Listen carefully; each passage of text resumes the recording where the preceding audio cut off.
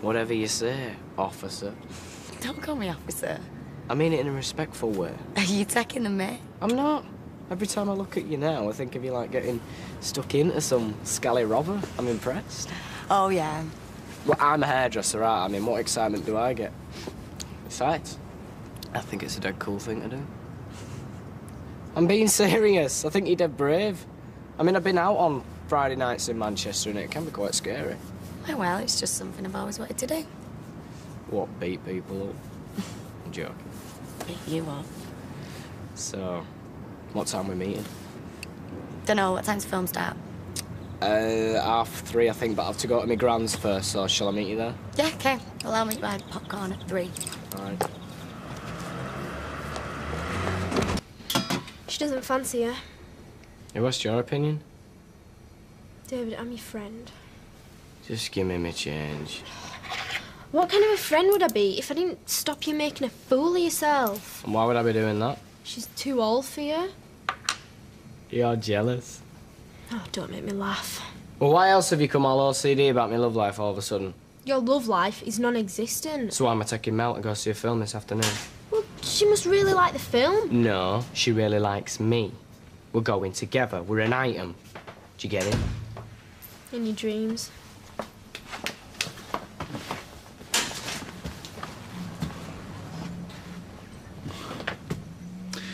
Right, I think you and me need to talk.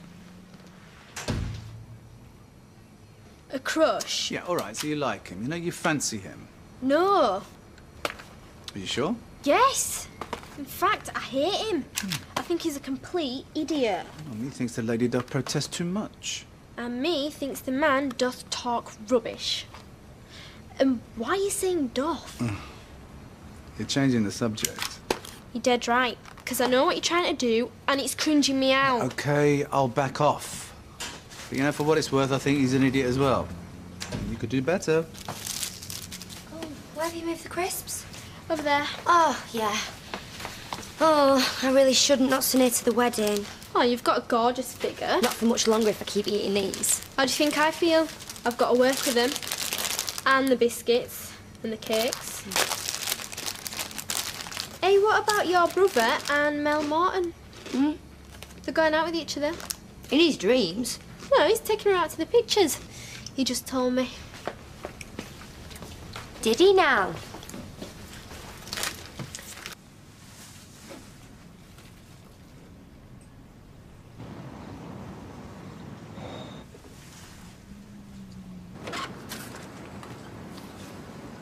Hiya, Mel. Hiya.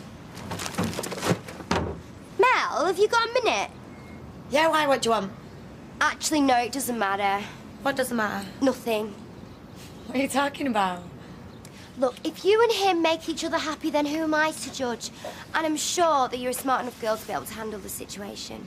Is that about David? Can I ask, and please tell me to keep my nose out if you want, but what is the story with you and him? There's no story, is there, mate? It's just a mate. Yeah. Are you sure? Yes. But you are going to the pictures with him, yeah? Well, yeah, but it's not a date or anything. Hmm. It's just he's going around telling everybody. Oh, no, that's not fair. Not everybody, just one or two people. That you're going out with him. I think he's got a bit of a thing for you. It's really weird.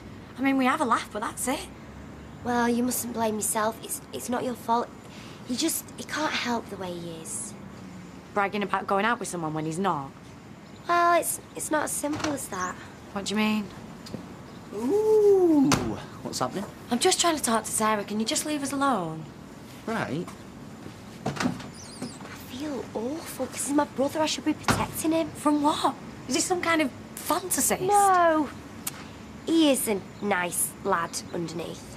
But Well, he just develops these obsessions over women that are just totally out of his league. really? Like, you know Maria, who I work with? Yeah. He followed her around for months like a puppy. Months? Yeah, things got pretty ugly when she gave him the knockback. Then there was Tracy, Tracy who? who used to live here. The murderer? Well, yeah, he writes to her in prison. No way. See, I think he tried to blackmail her into having sex with him. I think he's still a virgin, and that's part of the problem. Maybe if the right girl came along. I mean, you do like him, don't you? Not like that, no way. But maybe you could help him sort his head out. I don't fancy him. If he's read something else into the situation, then he's more of a loon than you're making him out to be. Feels like history repeating itself. I can't believe this. I don't want to go out with him. Well, if that's how you feel, you need to nip it in the bud. Why me? I'm not saying anything. Because the longer you leave it, the harder it's going to be. I'm not going anywhere near him. Just let him down gently, eh? He's had a lot of rejection, and I don't know how much more of it he can take.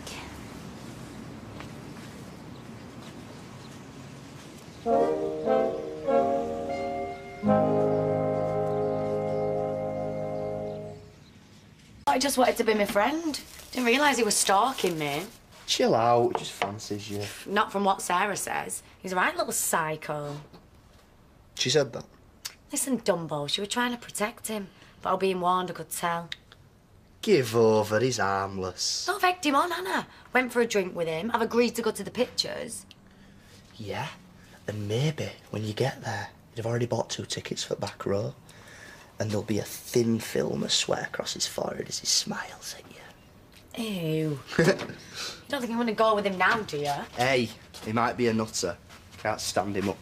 I'm not standing him up because we're not going on a date, except in his head.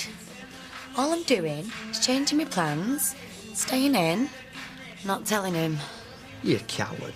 Yeah, I know, but at least he'll get the message.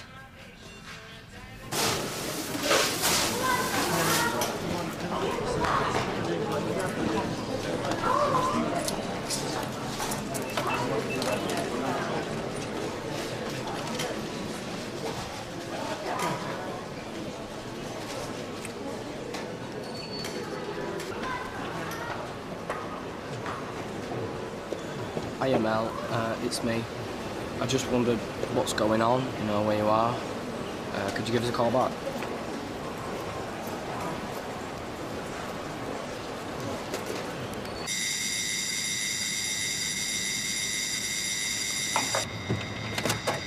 All right. It's Melin. No, uh, I haven't seen her all day, why? Right, well, when you see her, can you give her this? Right.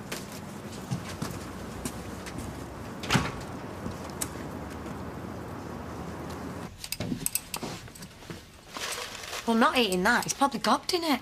I knew you were in. Do you know how many messages he's left on my phone? Yes, because you were supposed to meet the lad. Six. That is not normal. He's got a crush on you, that's all. And you're not interested. So you better tell him.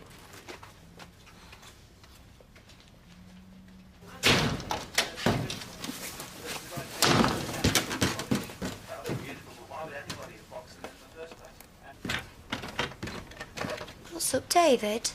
Don't talk to me. Okay, just thought, you know, my big sis might be able to help. Was the film not very good? You did go to the pictures this afternoon, didn't you? How'd you know? Who was he you went with? Your girlfriend, wasn't it? Mel? Oh, no, sorry. You don't actually have a girlfriend. You just pretend you do. What, has she been round here? No. I've been round there. Why, what have you done? I woke up this morning and I thought, I know.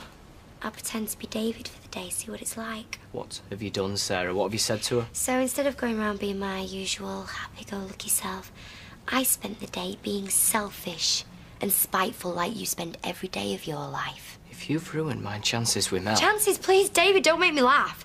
She was never interested in you. It was in your head. So when Amber tells me that you're going around bragging about taking her to the pictures, oh, I couldn't resist. I just had to go around there. You nasty, twisted. Oh, and I, uh, I filled her in on a few details of your previous relationships while I was there. Yeah, I was pretty vile. Oh, and I'm only telling you this now after she stood you up. And do you know the worst thing? I really enjoyed it. I got a kick out of being you.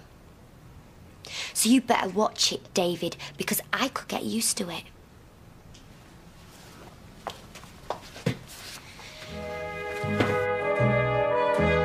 Next on ITV1. When I first saw Wastwater, I was overwhelmed. You really do feel at peace. About 50 minutes beyond that, it's my house. There's gallons of history lying around here. Britain's favourite view. Whilst over on ITV4, Quatermass meets a colleague who may be able to help solve a puzzling mystery.